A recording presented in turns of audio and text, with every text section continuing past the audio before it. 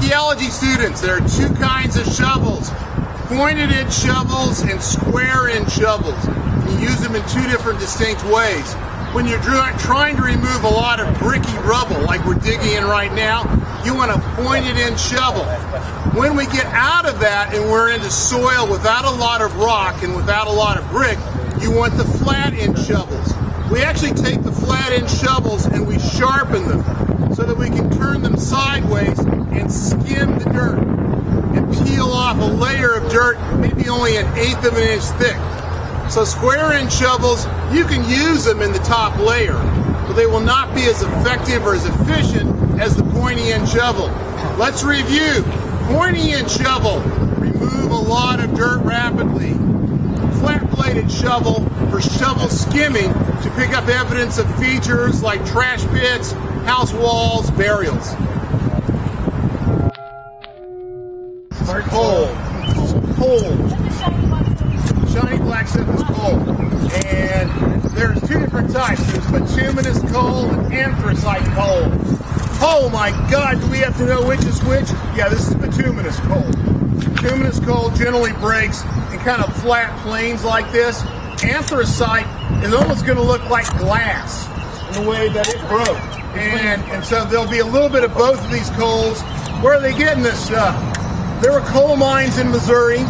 There were coal mines, obviously, still in Pennsylvania and West Virginia. Probably is this a Missouri coal.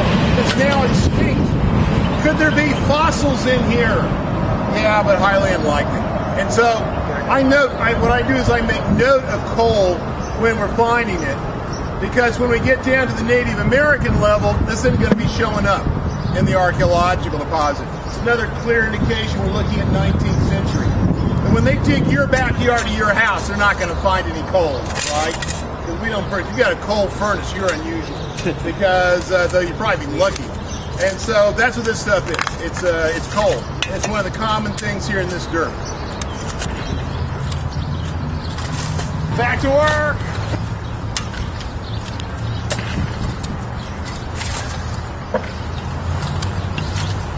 Now the good news is this dirt is moist. What would this dirt be like in August? It'd be like digging through concrete.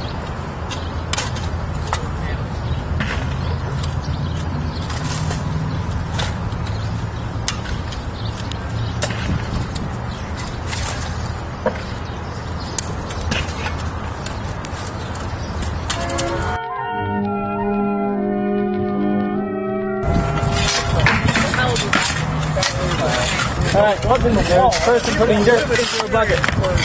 I am now replacing the bucket without dirt. Thank you very much. Taking the dirt.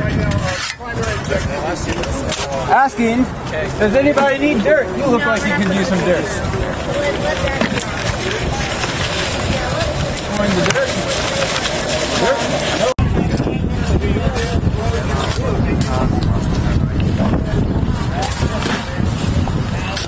Okay. So gravity's our friend for sifting. We just uh, just give it a shake, and the sediment goes through the uh, bottom of the screen for the most part, and we're left with the, the debris. So toss out the bricks and the limestone, and shake it a little bit more. That was yours.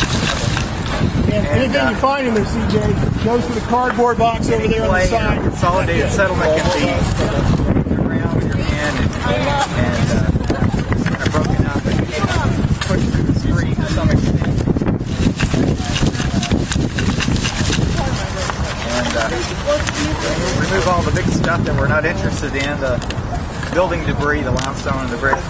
Then we can sort through the smaller stuff and hopefully find something interesting. Occasionally find a piece of glass or a nail or uh, ceramics. The most interesting thing we found so far.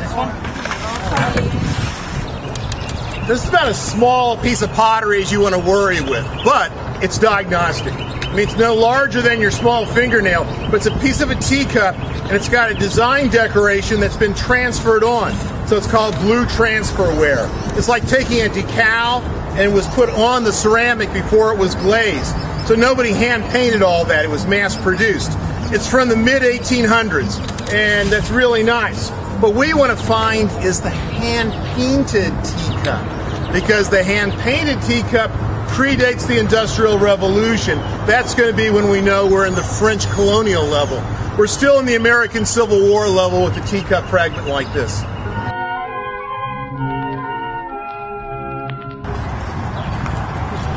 So it's the 7th of May. I'm Michael Fuller from St. Louis Community College. We found some bricks, we found some limestone down here, which we're calling Locus 3. Might be part of a building, may just be the way some of the rubble got dumped in when this building was destroyed. Soil below this level, though, seems to be changing. So we're going to change our stratification at that point in time also. Right now on this floor surface, we're still finding fragments of asbestos, but we're also finding teacup fragments from around the time of the Civil War. What's really interesting is in the east wall, right here, there's a really nice vertical drill hole.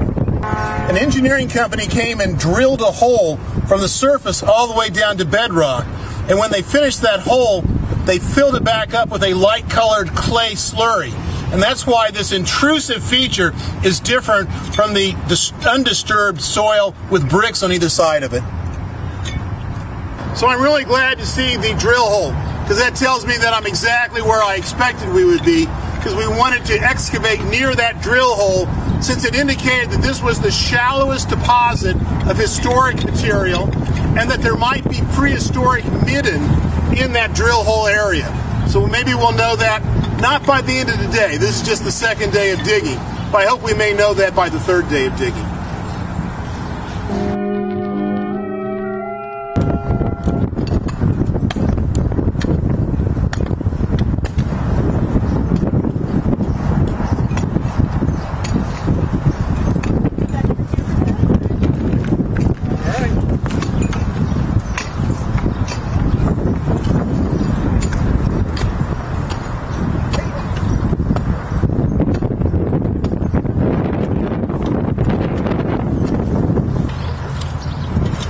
Is a very simple level that allows me to take elevations on the artifacts and the runes that we're finding. One of the things I'll do is I'll have a student hold the stadia rod. I'll look through this scope and see what the elevation differences are.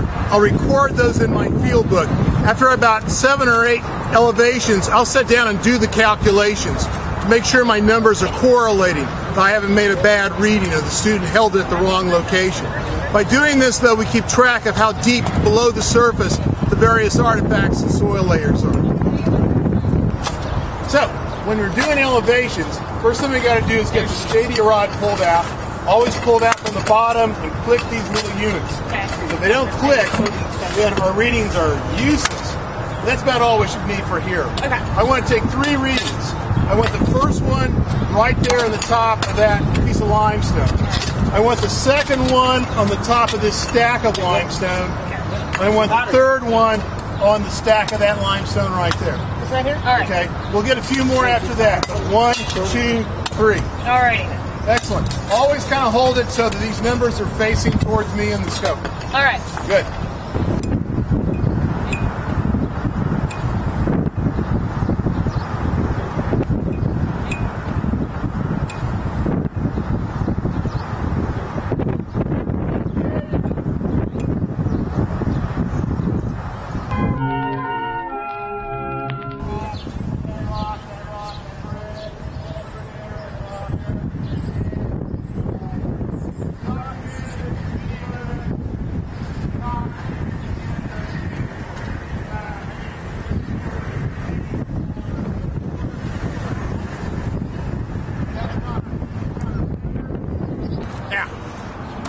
One of the things that's happening, what you guys and gals are digging and doing a wonderful job of it, I'm doing the paperwork. And the paperwork means that for every level that we're digging through, I've got to make a sketch map of what's going on. I've got to make a written description of what's happening. And on these forms, I will eventually record all the information about the artifacts that are found in each one of these layers and bags so that when someone 100 years from now is trying to figure out what we found, they'll be looking at these records. I also keep a record book this file. This is where I keep my first set of notes. this is going to be really hard for someone to understand because it's not very legible and there's scribbles and sketches all over. But from this, I go to the form right there. This is in waterproof paper. You can throw me in the Mississippi River, and when they fish me out of New Orleans, my notes will still be readable. This is not.